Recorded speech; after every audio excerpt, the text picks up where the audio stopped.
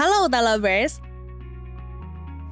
Bagi kamu yang menyukai mobil klasik pasti nggak asing dengan mobil yang satu ini kan? Yups, hingga hari ini mobil VW Beetle sendiri masih banyak bisa kita lihat lalu lalang di jalan raya. Modelnya yang cukup unik dan dilengkapi dengan performa cukup buas, menjadikannya salah satu mobil idaman para kolektor mobil tua dan menjadi mobil paling ikonik. Nyatanya, di balik ketenarannya sampai sekarang, mobil ini sendiri menyimpan banyak rahasia pada proses pembuatannya. Penasaran seperti apa? Dalam segmen kali ini, Auto Populer bakal menyajikan video menarik seputar proses pembuatan VW Beetle.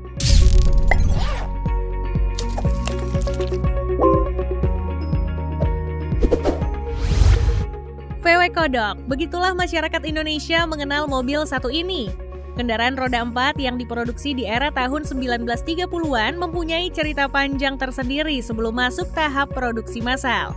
Pada tahun 1925, seorang pria bernama Bela Bareni asal Hungaria sempat membuat desain dasar mobil tersebut. Sebelum Ferdinand Porsche mengeksekusi perakitannya atas ide Adolf Hitler yang menginginkan mobil murah dan praktis untuk masyarakat Jerman.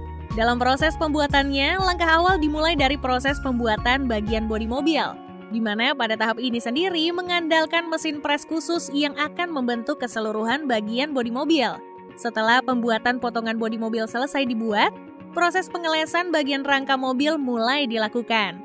Pada tahap ini, para pekerja dibekali dengan pakaian khusus untuk keamanan. Pengerjaan proses penyatuan bodi mobil juga dilakukan dengan tingkat ketelitian tinggi, agar menghasilkan produk dengan tingkat aerodinamis yang sempurna. Tahap selanjutnya, bodi yang telah terbentuk sempurna kemudian akan dikirim untuk masuk pada proses pewarnaan, di mana proses pengerjaannya sendiri dilakukan secara manual oleh para pekerja berpengalaman. Jika sudah beres di ruang terpisah, para mekanik terlatih Volkswagen mulai merangkai satu persatu komponen mesin hingga terkait sempurna sampai pada akhirnya disatukan pada bagian chassis bawah mobil beserta komponen pendukung lainnya di bagian roda.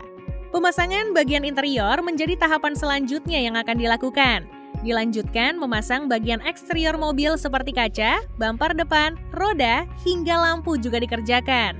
Tampilan interior mobil yang hingga tahun 2003 telah diproduksi sebanyak 21,5 juta unit ini sangat kental akan nuansa klasiknya di mana bentuk setir bulatnya memiliki dimensi yang cukup besar.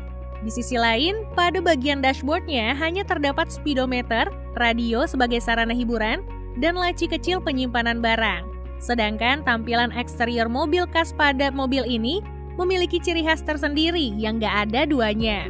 Langkah selanjutnya adalah pemasangan bagian mesin mobil, di mana mesin yang disematkan pada tipe VW Beetle bermacam-macam loh, mulai dari berkapasitas 1100 cc hingga 1600 cc.